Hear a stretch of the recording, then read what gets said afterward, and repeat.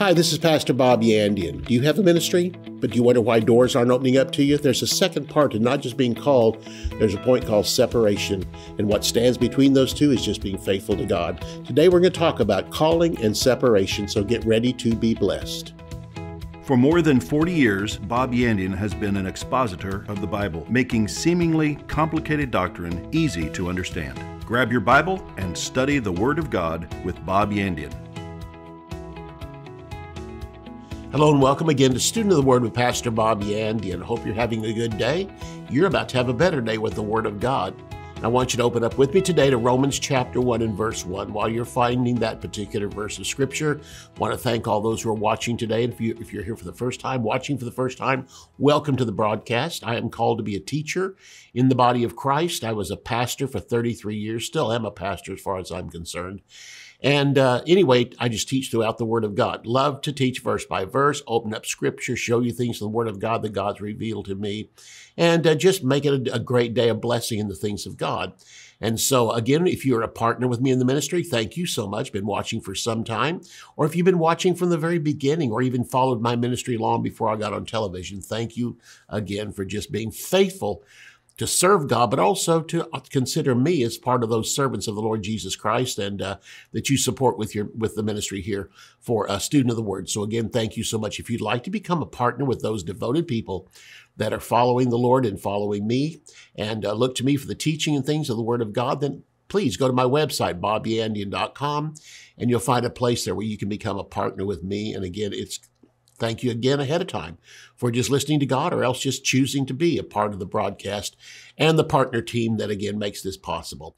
Romans chapter 1 and verse 1, Paul says, Paul, a servant of Jesus Christ, called to be an apostle and separated into the gospel of God. I want to point out to you there's two things he mentions in this verse of scripture. First of all, called to be an apostle. Next of all, separated into the gospel of God. Uh, this book I'm offering to you, Call Calling and Separation, the title of this particular broadcast is one of my best selling books. The reason why is because most people just think if you're called in the ministry, then you, doors start opening and you just go out there and start preaching. That's just not true. Calling is only the first part. Paul also mentions something else separated of the gospel of God. And so when you're first called in the ministry, there is no open doors. It's just simply the fact you know you have a calling. But then God begins to look at you. In other words, calling is of God, but separation is of you. You are the one who forms the separation. In between the calling and the separation comes a great time of just showing yourself faithful to do whatever your hand can find to do. In other words, if like me, you're called to be a teacher, I knew I was called to be a teacher. Didn't know later on I'd be a pastor. I just knew I was called to be a teacher in the body of Christ. I looked for any open door in our church. I didn't ask to be paid. I didn't ask to be put on staff. I didn't look for some traveling ministry announcing myself to churches who didn't know who in the world I was. I just started because I knew my pastor and I asked him if there's anything I could do. At first he said no. Then later from the pulpit he said, uh, we need somebody to teach a Sunday school class. And I was up there in no time saying, what is it? He said, seventh grade boys. I said, I will just take it. I just want some place to vent and teach these things out that God has been showing me. And of course, within a few weeks, I found out I was over their head. And the pastor then came to me after hearing of what I was teaching to these seventh grade boys, put me in the uh, class teaching college and career. I was teaching Oral Roberts University students in there. And man, I thought I died and gone to heaven. In fact, as far as I was concerned, I would have done that for the rest of my life. No pay, just a volunteer position in the church but just a place I could go and study and then release it in the class. I'd take the quarterly we had, which was literally telling you what to speak on, and it would have just a, a, scripture and a general outline, which they which you could fill in yourself. I was great. I mean, I studied ahead for those things and looked in the Word of God and had my teachings, and they began to grow and grow and grow to where eventually, then in the church that started out of that church, which I joined, they gave me a full Sunday night service with the with the entire congregation. So from there, it developed into teaching at uh, Bible college. And then later on, I pastored a church for 33 years. So again, it starts off with that. God has a calling on your life, but he looks to you to be faithful to him to where finally he will separate you. And in Romans chapter 1, Paul says this, that he was called to be an apostle, but then later separated into the gospel of God. So Paul begins his book of Romans with a twofold aspect of his ministry, again, calling and separation. And Paul's ministry began supernaturally on the road to Damascus. Let me just say this. If all you have is a knowing in your heart that you're called into the ministry, that is supernatural. It may not seem as supernatural to you as you riding down the road and getting knocked down to the ground and God actually speaking to you, but you weren't in the shape that Saul of Tarsus was. You weren't killing Christians. And God, as dramatic as Saul was killing Christians, thinking he was serving God, God had to smite him, knock him on the road to grab his attention. So just be thankful that all God took with you was just calling you. You just had a knowing inside of you that became stronger through the days that you're called to be a teacher or whatever in the body of Christ. So Jesus appeared to him in a blinding light. And the Lord told Ananias to lay hands on him and receive his sight. I mean, everything around the, the new birth of Saul of Tarsus, who later became Paul, was incredible. The Lord also told Ananias that Paul was a chosen vessel to carry the name of Jesus Christ to the Gentiles. All this happens in the book of Acts, Acts chapter 9. And God had known this long before it was revealed to Ananias and then eventually revealed to Paul. Paul was called to be an apostle before he ever learned it. And later he was separated to the gospel of the Lord Jesus Christ. And we'll find out when that was. The Greek word for calling is kaleo. It means to summon or to call out loud. In other words, there's something about it that's more than just a simple knowing inside. It's either a strong knowing or the Lord will speak to you through someone and then verify what he's talked in your heart. Once God calls, he begins to show you the verifications. He begins to amplify that and verify that, that you have truly been called into the ministry. It could be a word from somebody, or it just could be somebody again that comes to you and just says, you know, I just sense about you, there's a call on your life. On top of that, doors begin to open up in small areas, and God wants to know if you'll be faithful to do that. And then the word separation means to set apart by boundaries. That God has a boundary for your ministry. It doesn't mean because you're called in the ministry and then finally separated, you can do every ministry possible. No, there's a certain ministry for you. God has put boundaries around you. And some people have the idea that if God calls them into the ministry, they're called into the ministry total. They can do anything, more like an apostle. They can preach, they can teach, they can evangelize. And there may be elements of those in your ministry, but God specifically sets you into a calling. And that calling might again have some other little things around it, but there's the main boundary set apart there. He was called and he was separated. His ministry ended up being an apostle of the Lord Jesus Christ. Could he pastor? Yes, but that was not his eventual thing.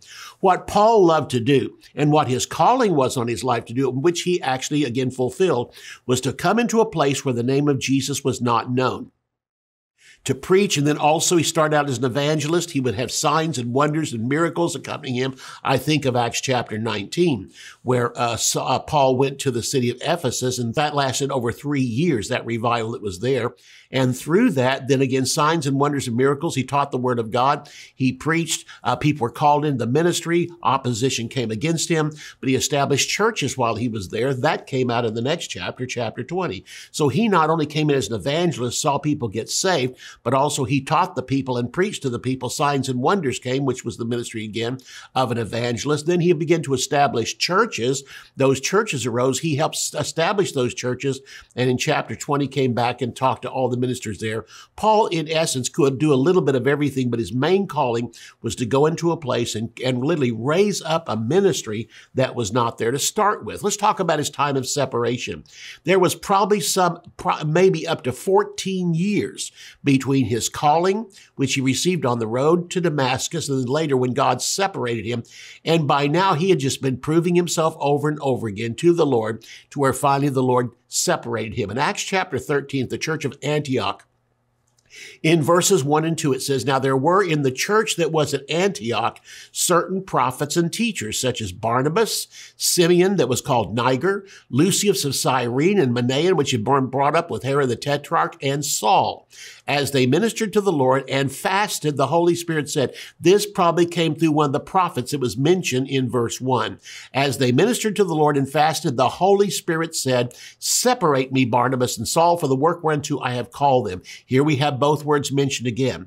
Calling and then separation came in Romans chapter 1. But here we have separate now. Separate at this time, me, Barnabas, and Saul, for the work whereunto I have called them. Paul's time of separation came years after his calling. Again, almost 14 years had elapsed between the call on the road to Damascus and the time of separation at the church of Antioch. And I want you to notice the phrases used by the Holy Spirit in verse 2. Separate me is present tense and have called is past tense. There's a period of time between the calling and the separation. And many people know they have a call to the ministry, but they never reach the point of separation. Why is that? It's because they think doors are supposed to open up for them, or now's the time to run out and start telling people you have a call to the ministry. I remember one day at church, there was a young man came. I, I pastored in Tulsa.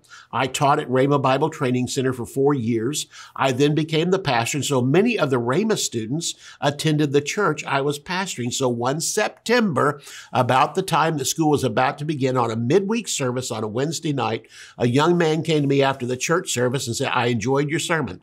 I said, great. He said, I'm a student at Rhema. I said, great. I can vouch for it. Good school. I taught there. He says, yes, I have a calling to pastor also. I said, well, that's good. And so he just stood there for a while. I, re- I kind of figured out maybe I was missing the points. There's something I'm missing here. And he said, yes. He said, I told you I was called a pastor. I said, well, that's good. That's a good, again, I agree. That's a good calling. He still stood there and I said, what is it? He said, well, when can I preach from your pulpit? I said, when will you vacuum the floors? When will you work in the toilets and, and, and clean those out? When will you take and help in a youth class? When will you help in children's ministry? When will you greet at the front door or become an usher in this church? He looked at me and said, I told you I was called to preach. I said, well, you will never preach because if you won't do these things in preparation, you'll never reach the point of separation. This is what comes between between calling and separation, a willingness to do anything, a willingness that without even being known, they'll stick you in a back room somewhere with some children and ask you to teach them and you'll keep thinking, who can see me back here? The pastor can't see me. No one can see me. Maybe the parents may know something about me. How am I ever going to reach the pulpit? How am I going to, the point of it is, is God sees you. And the point of it is also a separation doesn't come from men. No, you do your part and the same God that called you will separate you because why? God is no matter where you are, He is there with you. And God sees what you're doing. People do not promote you into the ministry. It's not the pastor that called you. It's not the pastor that can separate you. There comes a time that within the church, they may see this and begin to use you more and more. But if the church just basically slams the door on you, and some pastors have looked at the goodness you have and seen it as competition and don't want it, God will open up another door for you. There's always a door God will open to you. And that in that way, what you find out is I'm working as unto the Lord. I'm going to put my hand to the plow. I will not look back. I'm going to do what I find to do, what my hand finds to do. I'm going to do that. in every position you have, you have to be willing to say, if God wants me to be an usher at this church from now until the day I die, I will be the most faithful usher you've ever seen. This is what God is looking for. That is the basis of promotion. We'll get more into this when we come back right after halftime, talking about calling and separation. Theology Simplified is a practical guide to foundational biblical truth. Basic doctrines are not difficult, but easy to understand. They often become disguised as complicated or deep sounding words, but the definitions are simple. Pastor Bob makes complex theological concepts clear and practical. Eight crucial doctrines of the Christian faith are demystified redemption, justification, sanctification, reconciliation predestination, election, propitiation, and glorification. These eight precepts, essential for all believers to understand, come to light as you read and arrive at a deeper understanding of the finished work of Jesus Christ. To order Theology Simplified, visit our website at bobyandian.com. Bob Yandian Ministries is training up a new generation in the Word of God. Because of your generosity and faithfulness, this teaching ministry is able to change countless lives. You will never know until you get to heaven how many people received Jesus, were filled with the Holy Spirit, healed, or found God's will for their life through your support and prayers. If you would like to become a partner with Bob Yandian, visit bobyandian.com and click on Partnership. Throughout the Word of God, when God called people into ministry, they were already doing something at the time. And that time of separation came even later, but God looks for people that are doing something. Again, you know, in the church, it could be just looking for anything to do. We, you know, I've had those students tell me sometimes that we're going to Bible school, some from Oral Roberts University, some from Rhema Bible Training Center, others that just were coming to the church but knew they had a call on their life oftentimes they would tell me, but you know, the church this size, which we had a good sized church, I'm sure you have plenty of ushers and all that. I, my thing is, no, I don't. That's where God calls people from.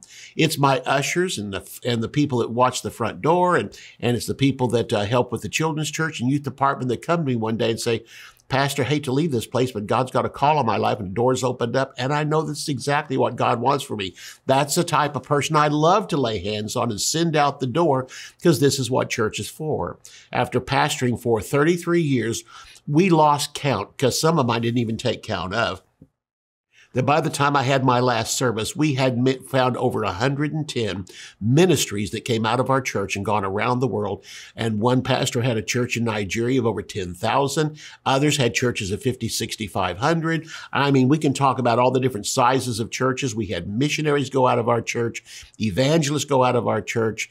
Uh, you, again, you, again, you name it, we had them. And it's just like, to me, it was such a tremendous thing of knowing that I taught from the pulpit, be faithful, be faithful, be faithful. And people often who thought they had no particular ministry found it and then went out to be tremendous. We had one young man and his wife who were just, they were just faithful in the church, but God called them to a missions and they became one of the most successful missionaries in the uh, area of East Berlin uh, before the wall fell. And so tremendous things happened back during those days, great things for God. And again, but came because of faithfulness throughout the word of God. When God came and called a person into the ministry, there was still a point later on of separation. There was a time period between the calling and separation, but they were already faithful. Uh, when God was looking for another king, he found David tending sheep. When God was looking for a deliverer for Israel, again, he approached uh, Moses while he was tending sheep and, the, and came by the burning bush. We find it with Elisha while he was plowing, and we find Gideon on the threshing floor. That's when God approached. They were doing something. And in the New Testament, Jesus called men who were fishermen tax collectors already doing something. And then chapter six of Acts, what a tremendous verse of scripture is choose faithful men among you who shall be able to teach others also. And they found seven of them. And the first two mentioned on the list end up occupying the next two and a half chapters of the book of Acts. Stephen became a great teacher of the word of God. Philip became an evangelist. And again, we find it because they were just faithful in the church to help in the church. And they, all they did basically in chapter six was just give uh, food and finances and take care of the women in the church. Uh, again, th- those that lost their husbands, they were faithful in the church to take care of them. And from there, the great ministries begin. Nobody starts out behind the pulpit. You start out just serving people and getting that great call on your life. And without money, doing it. Uh, we find that that thing about Paul himself is later on in his ministry, he never lost that aspect of serving people. He started out serving people and later on continued serving people. And this is what we find. We find on the time when he was at shipwreck on the island, and the people were freezing. They've been in the water for so long, were laying on the shore just freezing. Paul was the one that went around and collected wood. He's the one that went and collected sticks so they could have a fire. Even got bit by a serpent at that time, but that became an open door for him to see healings on the island. And so again, let's talk about Elisha's calling and separation. There's a period of time between the calling and the separation. Many people know they have a call into the ministry, but they never reach the point of separation. Why? Because the moment they have a call, they go running out there looking for a ministry. In other words, they want to preach, but they have nothing to preach. They have no personal connection with people, knowing what it's like to work in some place like a church, not get paid for it, not get much recognition, but knowing that you're doing it to God. Elisha's calling and separation. Whenever Elisha had the first calling into the ministry, he was plowing and the mantle was given to him. Elisha was plowing behind 12 yoke of oxen, and Elijah came and threw that mantle on him. And listen, Elisha must have known he had a calling in the ministry. The mantle is what verified it. When he got recognition from the famous uh, prophet, Elijah, who came and threw that mantle around him, he turned around and followed him immediately. Then he even said, stop for a moment. And he ran back and slew one of the oxen and offered it as a sacrifice and then left. What was he doing? He was burning his bridges behind him. Elijah was not an easy man to deal with. He had up and down emotional wide swings in his life, but Elisha found that out and probably he followed Elijah for some 10 years before the mantle fell on him finally that he kept, and that was his separation. So again, he left that and basically saying, I'm never going to go back to this again. Why? Why is that so important? Because when you get a call in the ministry, there's always a second voice that comes to you from Satan himself, offering you a job back in the world, making more money than you've ever made before. But you have to make up your mind. I have started this road. I'm not going to look back. I'm going to keep on going. So Elisha again was plowing when he was found. And then later on, after some 10 years, Elijah was taken into heaven. And at the Jordan River, that mantle fell on him permanently. In other words, when Elisha, Elisha had that mantle thrown around him from Elijah, he was called in the ministry, but Elijah took it back because Elisha was going to be his one that followed after him. He was going to be the one that was his helper. And so by being in that submissive position, just like those that surrounded Paul in his ministry, that team he had, this team was made up of two people, Elijah and Elisha. It's interesting too, during Elisha's time period while following Elijah, that the sons of the prophets, which were going to the school of the prophets, all were probably jockeying for position, thinking, I'm better. I have a ministry because, and I've also gone to school.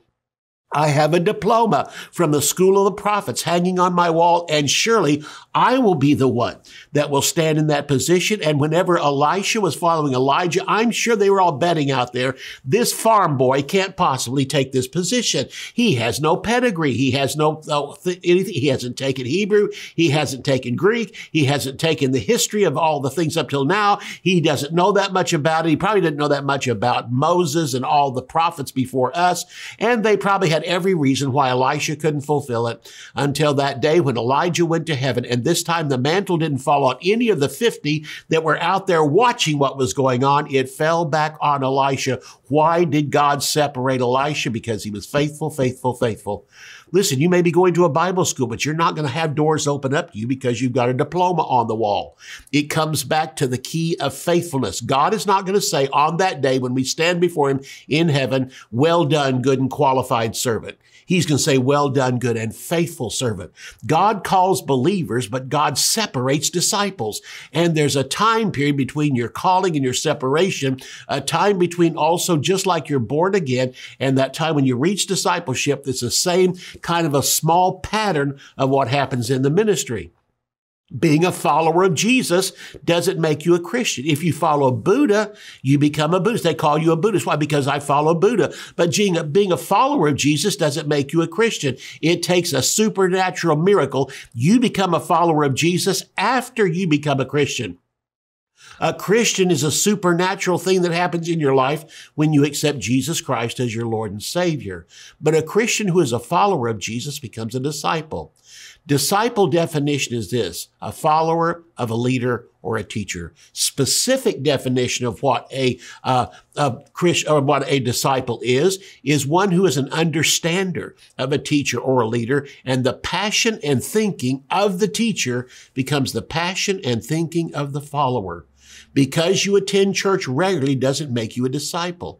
A disciple wants to see others come to Jesus in his own personal life as much as he wants to see it happen in the church. A disciple cares as much about a dirty carpet in a church as he cares about a dirty carpet in his home. Peter was questioned and under pressure denied he was a disciple of Jesus. A disciple of Jesus is more than a follower, but one who understands his leader. John as, uh, as opposed to the other 11. He was a follower of Jesus and sought after his teaching. The other ones were kind of in and out. John was the one, again, that Jesus loved and he loved Jesus. John sought to understand the teaching of Jesus. And when all forsook Jesus, John remained behind and then stood by Jesus at the cross. It's no accident that all the marks of a disciple are found in the Gospel of John. I'm going to get into that here in just a second, but again, I want to get back to Elisha. For 10 years, he stood behind Elijah, stood next to him, and probably saw the same thing that we saw before he ever met Elijah and before Elijah ever met Elisha. Is that these up and down, wide swing things happened in his life. He was an emotional wreck. There was times he was a follower of Jesus, and one note from the queen saying she was going to kill him, he ran.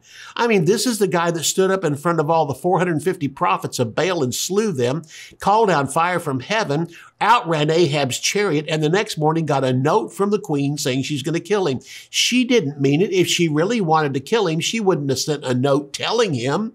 She would have sent an assassin with a dagger. But he didn't come that way. This probably this guy gave him the note, ran as fast as possible. He did not want to confront Elijah after his powerful day, the day it had before. But when Elijah saw that, he freaked out and ran. And he ran again from a note from the queen. And literally what happened was she probably her second thought was, I'd like to kill him. My, my first thought is, I'd like to kill him. The second thought is, maybe I could just scare him. And guess what? It worked. He was scared, ran and was in a cave hiding there. And so we find by hiding there again, this is when he, when God kept trying to get him out of the cave and go back to ministry, would not do it. And finally God said, I'm going to replace you with basically a farmer. You're going to find him plowing behind 12 yoke of oxen. And there came the time of separation. And the time of separation came and, it, and he literally picked up where Elijah left off. He fulfilled Elijah's ministry. He didn't have the same personality. He didn't even operate in signs and wonders like Elijah did. Oh, he had twice as many miracles, but none of them were spectacular, calling down fire from heaven.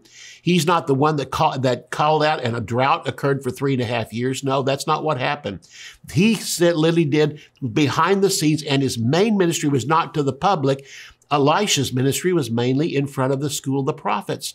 A different calling, a different all that, but he still completed the same ministry because he picked up right where Elijah left off. Elijah's last miracle was Elisha's first miracle, the parting of the Jordan River. And when he put down his mantle, it parted and they went over. He went up into heaven. The mantle fell from heaven and fell on Elisha. He turned around and took that mantle, hit the water. It split and he went through the other way. And the 50 prophets that saw that said, This is the man that's taking his place.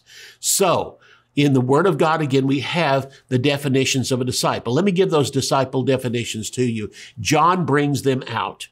First of all, a disciple is one who continues in the Word of God, John chapter 8, verse 30 through 32.